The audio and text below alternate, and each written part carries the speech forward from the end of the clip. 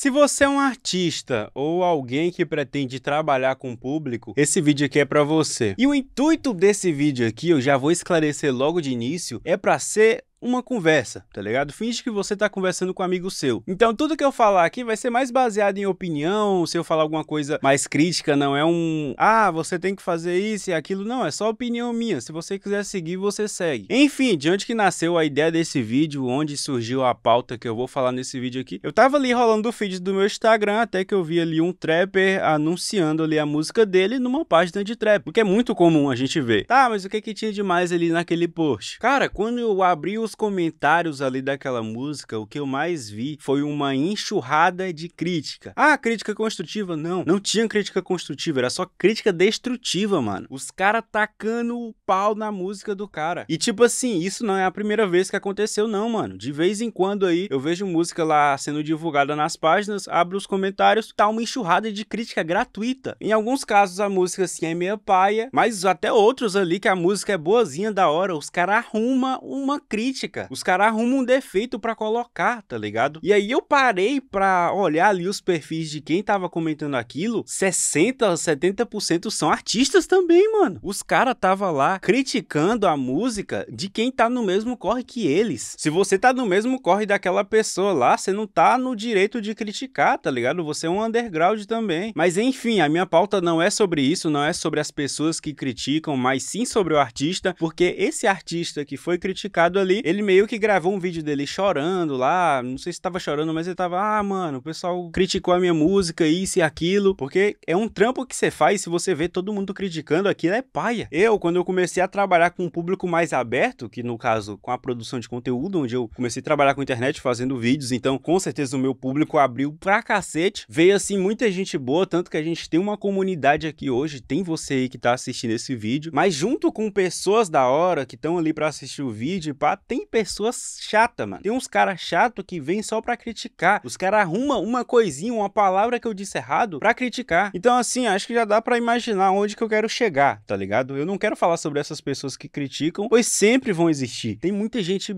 amargurada na internet que vai criticar o trabalho dos outros de graça. E é isso que você, artista, ou você, pessoa que quer ser pública, se você tem um sonho de, sei lá, ser criador de conteúdo, quer fazer conteúdo pra internet, porém não quer que as pessoas critiquem, as pessoas vão criticar, mano. E quando chegar nesse ponto de criticar, você tem que aprender que essas pessoas são mal amadas, são pessoas ali amarguradas que estão ali pra criticar o teu trampo à toa. Então, pra você que tá querendo viver dessa vida, essa vida artística, onde você vai ter um público ali, se prepara porque você vai receber isso. Às vezes você vai receber mensagens ali que dá vontade de, de, de desistir, tá ligado? Mas você tem que lembrar que existe muito muito mais pessoas te apoiando. E mesmo se não tiver muitas pessoas te apoiando, continua teu corre, mano. Só você sabe onde você quer chegar, ligado? Se tem pessoas ali amarguradas querendo atrapalhar o seu trampo, ignora. Ah, eu também vou deixar uma observação aqui bem clara que quando eu falo de críticas, são críticas negativas, tá ligado? Agora, se for críticas positivas, críticas construtivas que vão somar ali para você, isso é totalmente válido. Se não, vai acontecer, cara, vou contar uma história que aconteceu comigo de um inscrito meu que pediu para avaliar a música dele. Ele mandou uma mensagem lá da hora no Insta, mano, sou seu fã, não sei o que, quero saber o que que tu acha da minha música e papapá. Eu falei, mano, da hora, tá ligado? Esse mano parece ser da hora. Eu vou ouvir aqui a música dele pra falar o que, que eu achei, tá ligado? Ele pediu pra eu falar o que eu achei. Beleza, eu ouvi a música dele, a letra dele tava da hora, o beat ali foi bem escolhido, porém, a mixagem da música dele tava paia. Tava suando suja, tava paia, tá ligado? Eu peguei e falei na maior sinceridade com ele. Falei, mano, tua letra tá boa, teu beat tá bom, ficou assim, assim, assado, ficou da hora. Porém, a tua mix não tá boa, mano. Tem que buscar melhorar porque compromete a qualidade da sua música e pipipipopó. E falei para ele que ele tinha que melhorar aquilo. E,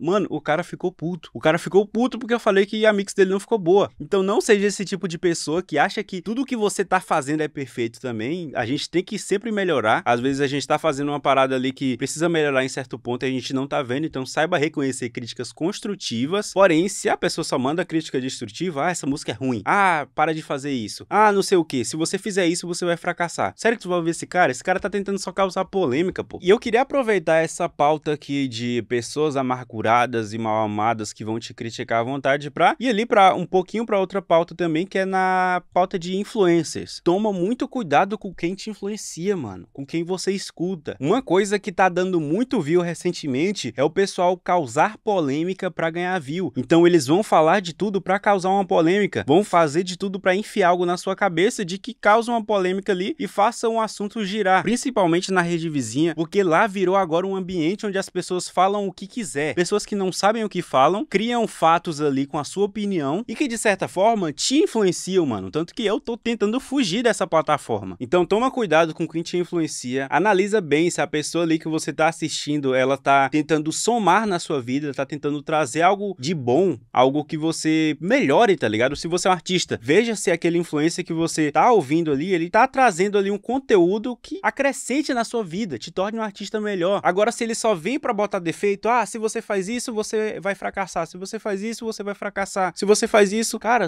foge desse cara aí que ele tá usando opinião para te desmotivar, para te tornar um pessimista. Para nós que trabalhamos nessa área mais artística de criação, pessimismo é a última coisa que a gente deve ter, mano, porque é um trabalho incerto, é a arte. Então foge do pessimismo, mano. Busca otimismo para tua mente, busca deixar sua mente limpa. Enquanto mais limpa a sua mente estiver, melhor vai ser a sua mentalidade e melhor vai ser os seus resultados. E quando eu falo de influência, eu tô falando até de mim, tá ligado? Me analisa. Você acha que eu tô aqui pra somar na sua vida ou pra criticar a sua vida à vontade? Então, rapaziada, esse foi o vídeo tá ligado? É só uma pauta aqui pra trocar ideia e pá. Comenta aí o que, que você acha disso, qual a sua opinião sobre esse assunto, sobre críticas e, e influências. Pra você que produz no celular, eu quero te dar uma dica que meu treinamento de produção musical tá com 60% de desconto, então clicando aí embaixo você pode saber mais sobre ele. E é isso, rapaziada. Se vocês curtirem mais vídeos como esse, comentem embaixo também e até o próximo.